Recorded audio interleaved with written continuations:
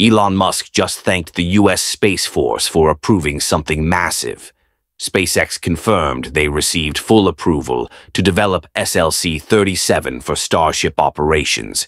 Not one pad, but two complete towers being built side by side in Florida. Combined with Kennedy's LC-39A and Starbase's two pads, that's five operational Starship launch pads total. No rocket in history has ever had this level of infrastructure. SLC-37 alone will support 76 launches per year for national security missions. But can SpaceX actually handle this scale?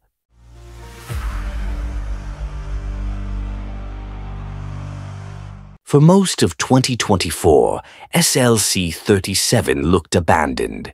After SpaceX announced the takeover, Crews demolished the old ULA building, cleared the debris, and then nothing. The site sat silent for months while everyone focused on Starbase and LC-39A. But that silence wasn't inactivity. It was SpaceX working through something far more complex than concrete and steel. The approval process involved three major agencies. The Department of the Air Force, Space Launch Delta 45, and the U.S. Fish and Wildlife Service. Each one had to sign off on environmental reviews, operational plans, and security protocols. SpaceX thanked all three publicly when the approval came through. Why does a rocket company need fish and wildlife approval? Because building launch infrastructure near protected habitats means proving you won't destroy ecosystems in the process.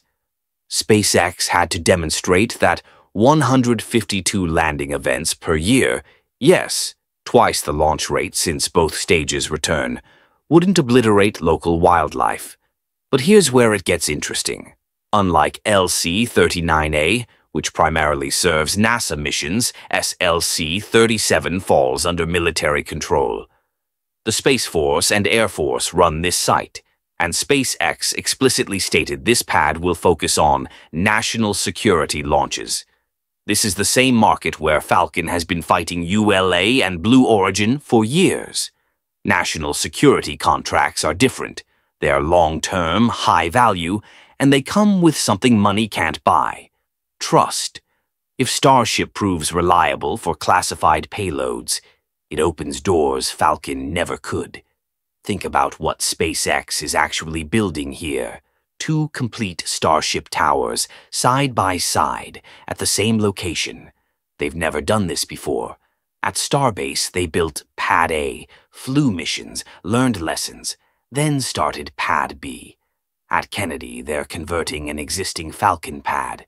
But SLC-37, this is a simultaneous dual tower construction from bare ground. How do you coordinate that scale of work? The construction sequence reveals the complexity. First, crews excavate massive foundation pits for both towers.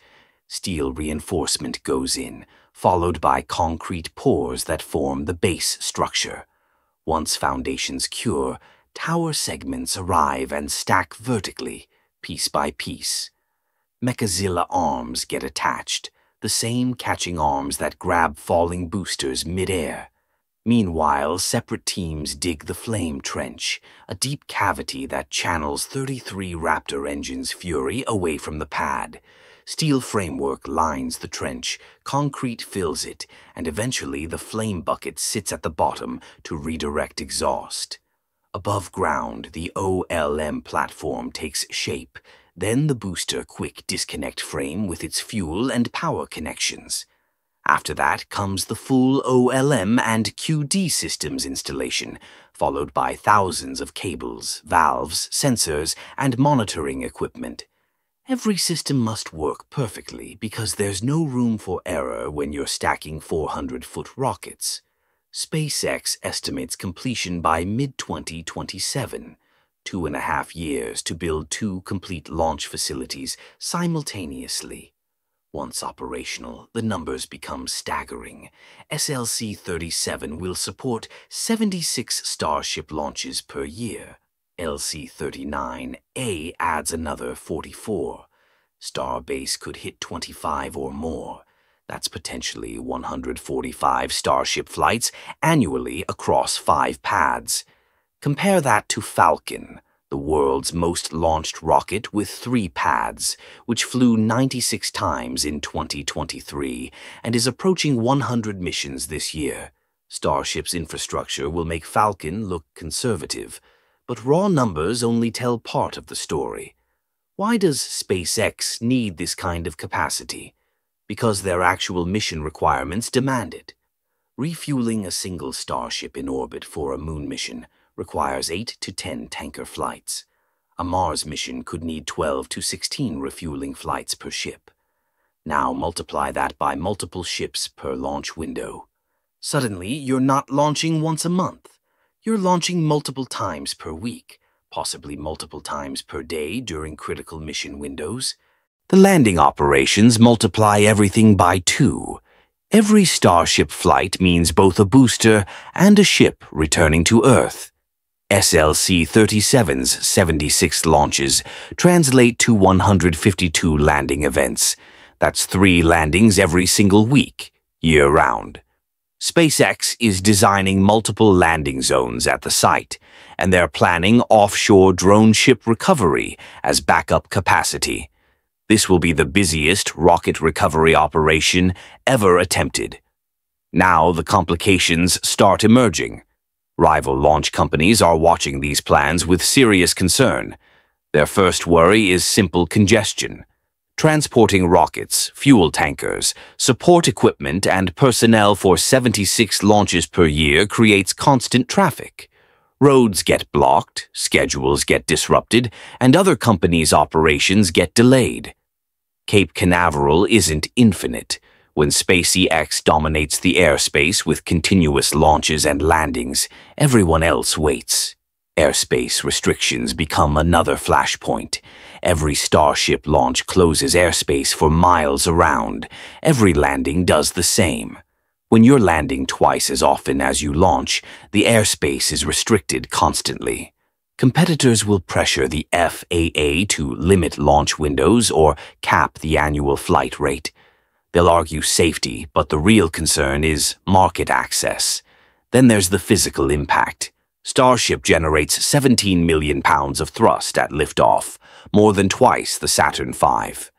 Launching that kind of power 76 times per year creates vibration effects that travel through the ground for miles. Other companies will claim it risks damaging their pads, their rockets, their infrastructure.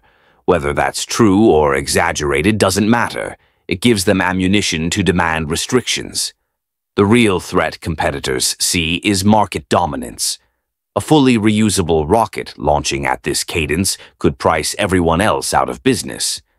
If SpaceX offers national security launches at half the cost with 10 times the payload capacity, why would the government contract with anyone else?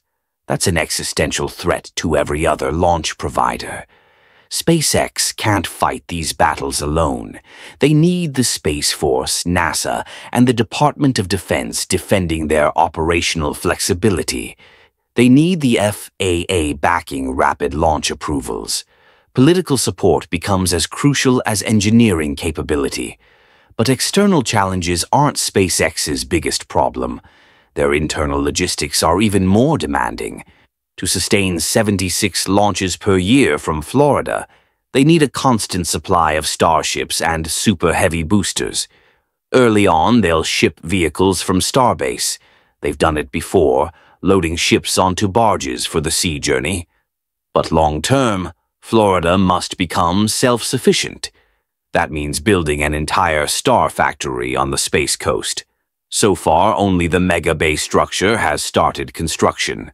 SpaceX needs multiple factory buildings to match Starbase's production capacity. These facilities take 12 to 18 months to build and another six months to optimize production flow. If Florida needs to support Artemis missions starting in 2027 and Mars missions soon after, construction must accelerate now. Every month of delay pushes the timeline back.